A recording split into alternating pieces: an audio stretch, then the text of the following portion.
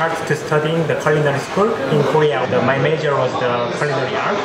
My second grade, I decided to go abroad to have a experience out of Korea. That time I went to the United States first. I traveling and start an internship and I spent uh, almost five years. Yes, when I was in the elementary school, I like something making new. My mother actually sent me the many place to learning, like the drawing, playing the soccer or something. I'm not really potential for that, but cooking, I am very dumb to making the hand skill. I, I feel, but taste is more important than hand skill.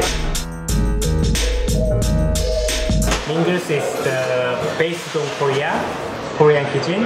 I convert with my experience outside Korea. I convert it come out a new way and new type of the Korean food. Each Korean food but familiar for them. Also for Korea, it's not really exactly the traditional Korean food, but familiar for them. About uh, 95% is uh, we are using only Korean local product. We working together with the farmer my restaurant. That time was the most important uh, time. I always was telling my wife I would like to open my own restaurant. So she encouraged me to open the restaurant. Okay. So we save money all together. We open the restaurant together. But I changed my plan. Maybe I'm trying to run the restaurant in Europe. It's gonna be uh, one of the big challenge.